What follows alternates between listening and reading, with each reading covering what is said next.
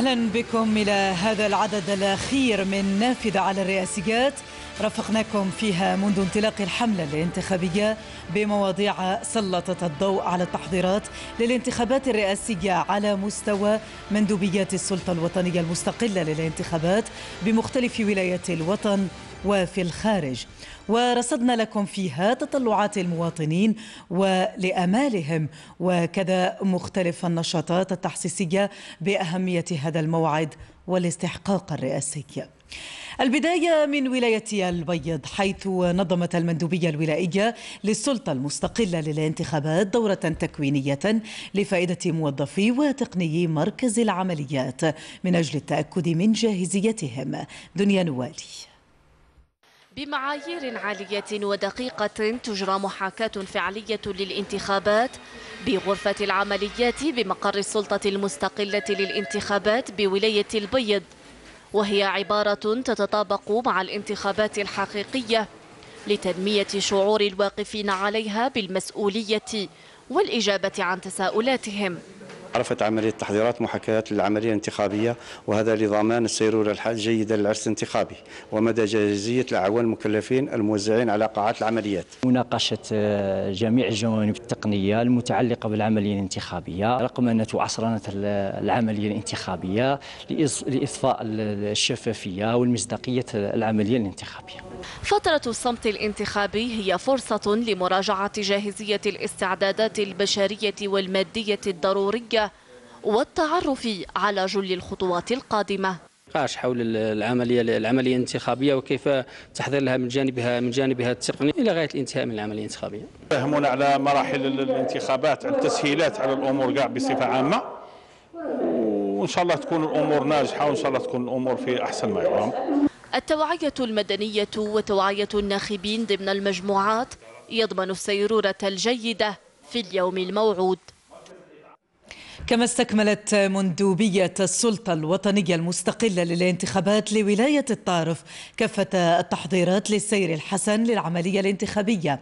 ياسين بخناف على قدم وساق يسهر أعضاء المندوبية المستقلة للانتخابات ولاية الطرف على وضع اللمسات الأخيرة للتحضير والاستعداد ليوم الانتخاب.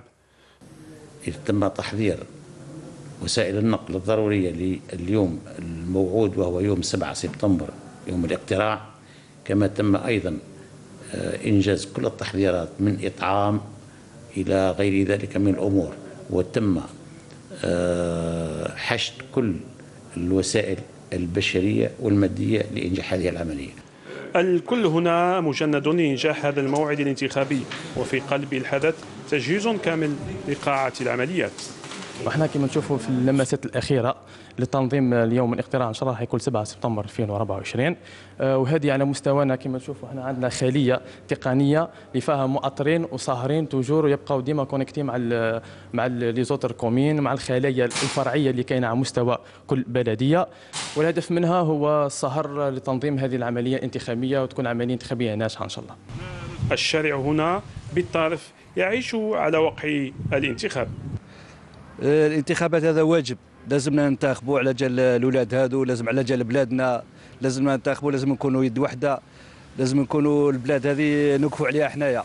بطبيعة الحال كمواطنة جزائرية وأفتخر بذلك سأؤدي واجبي الوطني تجاه الجزائر وهذا لتجسيد حق الدستوري في في الانتخاب. بقي إلا القليل على موعد الاقتراع. في أجواء توحي بالاستعداد التام لإنجاح هذا العرس الديمقراطي. هذا وكيفت إذاعة الجزائر من سطيف برامجها للتقرب من المواطن وتحسيسه بأهمية هذا الموعد الانتخابي؟ سعيد بلونيس. كل الوسائط السمعية البصرية ومساحات الأقلام ولوحات المفاتيح تم استخدامها والاستفادة من مزاياها للتعرض للمسار الانتخابي الرئاسي بكل حيثياته ومجرياته. إذاعة الجزائر من سطيف أحد أهم الوسائل التي تم تكييف شبكتها البرامجية لمواكبة الحدث لجواريتها وكونها الصوت الأقرب للمواطن والناخب.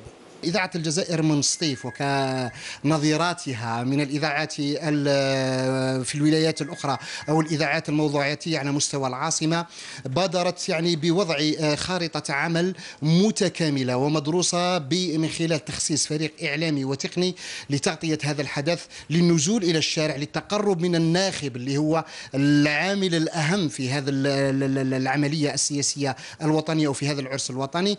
استوديوهات الإذاعة تم تسخيرها لاستقبال كل الفاعلين في العملية الانتخابية سيما رجال القانون وأساتذة الجامعة والأخصائيين. وكانت الإذاعة أيضا فضاء للتعبير عن تطلعات الساكنة وأمالها. من خلال أنها أتاحت لنا الفرصة تواجد في فضاء مثل هذا لكي نعطي التحليل الإعلامي والتحليل الأكاديمي لكل المجريات السياسية وكل مجريات العملية السياسية في الجزائر. دورها سابق في, في الظهور لأنه ما تعودنا عليه كأكاديميين هو أن الإذاعة الوطنية لها القدرة على أن تتطرق إلى جميع الأمور التي يحتاج إليها المواطنين في حينها. الحدث بالأهمية بمكان مما يستدعي تصغير كل الفضاءات الإعلامية. على اختلافها للرقي لمستوى الحدث وإنجاح هذا الاستحقاق المهم. وقبل ساعات من انطلاق عملية التصويت يتطلع المواطن في ولاية غليزان إلى المشاركة بقوة في هذا الاستحقاق الرئاسي الهام من أجل استكمال مسار التنمية الشاملة التي تشهدها البلاد. أسيا غريب. بروح المسؤولية والمواطنة ينتظر المواطن بولاية غليزان يوم السابع من سبتمبر للإدلاء بصوته وعيا بأهمية الموعد الانتخابي. ما نقولش عند حيطان فوت الصباح لهم بكروا ليكولات فوتوا إحنا كاش قال ما هوش مش ان الشاب يكون عنده عنده برنامج اختياري. أنت الرئيس اللي اللي يساعدك البرنامج تاعو عندك حق الاختيار. يتفضل إلى سنه الاختراع ويصوت بالصوت الإيجابي نتاعو. يحافظ على البلاد ويستحفظ على البلاد. ويستفاد بهذا الشباب اللي راه دروك ويعرفوا اللي فيها الخير اللي يجيبها. حملات تحسيسية وتوعوية نظمتها جمعيات وفواعل المجتمع المدني صبت في مجملها حول أهمية الانتخاب. ونتمنى من من فئة الشباب الجزائري اللي هو بكثرة نتمنى يكون عنده حس وطني ويتقرب لصناديق الاقتراع يوم 7 سبتمبر من أجل الادلاء بصوته وإعطاء شرعية الانتخابات. ولاية غليزان إن شاء الله تكون من الرائدة كما جرت الانتخابات السابقة إن شاء الله اللي, إن شاء الله نكونوا تكون هبة تضامنية من شابات من شبان وشابات هذه الولاية بمعظم بلديتها 38 قلنا بتوعية الشباب والشيوخ والمواطنين باقتناء يوم 7 سبتمبر. هذا وقد تم تخصيص 363 مركز اقتراع و2231 مكتبا آخر عبر إقليم الولاية من أجل تسهيل عملية التصويت. والشارع في ولاية ورقلة الذي يعلق آمالا كبيرة على هذه الانتخابات لمواصلة مسار الإنجازات يدعو إلى التعبئة الكاملة لكل شرائح المجتمع من أجل الذهاب بقوة إلى صناديق الاقتراع. خالد بن قرينة. ما هي إلا ساعات قليلة تفصل على انطلاق الانتخابات الرئاسية بالبلاد. المناسبة تعد محطة هامة تتطلب تعبئة فئات المجتمع. وحثهم على التصويت نظرا للتحديات التي تنتظر الجزائر في المراحل القادمة. نود أن نوجه من هذا المنبر إلى كافة الشعب الجزائري وخاصة سكان أهالي ورقلة بالتوجه يوم السابع من سبتمبر سنة 2024 إلى مراكز الاقتراع وذلك للمشاركة والمساهمة في نجاح هذا العرس السياسي الذي تمر به بلادنا الجزائر. الانتخابات عن نهار السبت لو 7 سبتمبر إن شاء الله. ندعو المواطنين خوفنا كاع يروحوا ينتخبوا من أجل البلاد بلاد البلاد منتصرة. تبقى البلاد مستقرة وفي الهنا إن شاء الله. نحن نعي ونقدر بأهمية شديدة وقصوى أهمية المشاركة في الانتخابات الرئاسية آه، بمشاركة قوية وسنكون يوم 7 سبتمبر 2024 آه، حاضرين بقوة للمشاركة في هذه الاستحقاقات. التوجه بقوة نحو صناديق الاقتراع للمشاركة في هذا الاستحقاق الرئاسي. من شأنه المساهمة في تعزيز المسار الانتخابي وترسيخ الديمقراطية من خلال المشاركة الشعبية الكبيرة. ندعو الشعب الجزائري برمته أن يخرج بكل قوة آه، إلى مكاتب الاقتراع باش باش يمد رسالة رسالة قوية بان أن الشعب الجزائري مع الدولة الجزائرية مع استقرار المؤسسات. الذهاب إلى الصندوق هو الفعل السديد لأنه من خلال ذلك سيقطع الطريق أمام المنتهزين يقطع الطريق أمام الحاقدين يقطع الطريق أمام الحاسدين ويعطي مصداقية للرئيس القادم حتى يستطيع أن يتخذ قرارات جريئة في تنمية هذه البلاد. الخروج بقوة يوم السابع من سبتمبر للإدلاء بالواجب الانتخابي هو تأكيد لاستقرار مؤسسات الدولة واستكمال لبناء الجزائر الجديدة. المجاهد جموع بوذينا واحد ممن صنعوا بطولات وملاحم ثورة نوفمبر المجيدة. يستذكر تلك التضحيات ويوصي جيل اليوم بالوحدة لمواجهة المتربصين بهذا الوطن المفدى. مريم بن عبد الرحمن. وهذا رسالة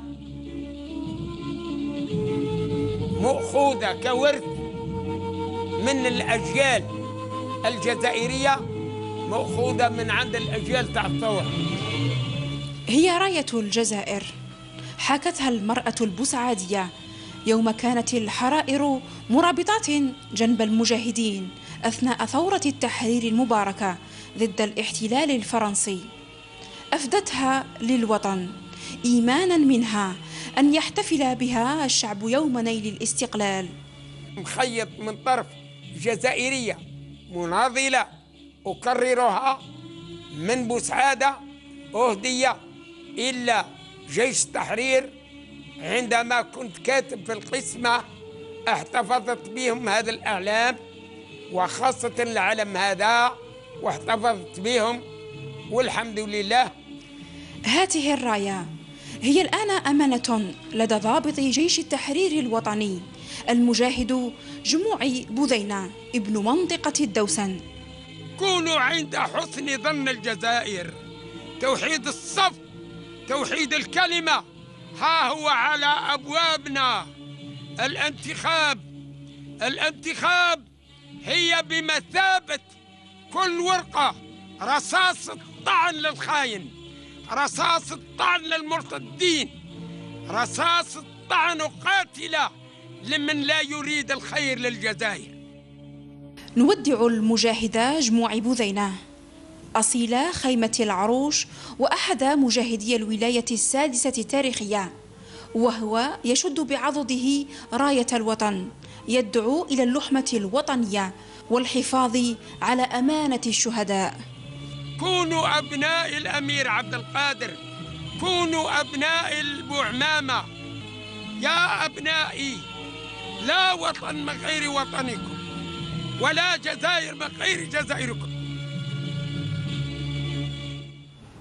ونختم هذا الفضاء نافذة على الرئاسيات بدعوات أعيان مختلف مناطق الوطن من أجل التجند غدا للمشاركة بقوة في الانتخابات الرئاسية لرسم صورة مشرفة عن الديمقراطية في بلادنا وقطع الطريق أمام الحاقدين على الانتصارات المتتالية للجزائر في كل المجالات. متمنيين إن شاء الله وأمنيتنا هي أن يحقق وتحقق الجزائر الهدف نتاعها بين الدول الصديقة والحبيبة إن شاء الله. قبل نقولوا العدو. لأن العدو مهما يكون عدو. ونحن متصديين ونوقف وقفة رجل واحد. كاين ثلاثة مترشحين جزائريين.